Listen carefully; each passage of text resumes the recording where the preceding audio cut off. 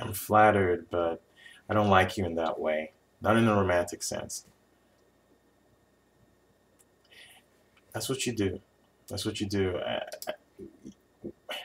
How do you tell him you don't like him that way without hurting his feelings? Something you've got to understand is you're not responsible for his feelings.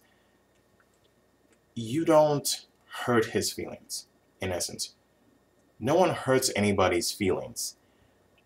It's the person themselves who allow themselves to be hurt.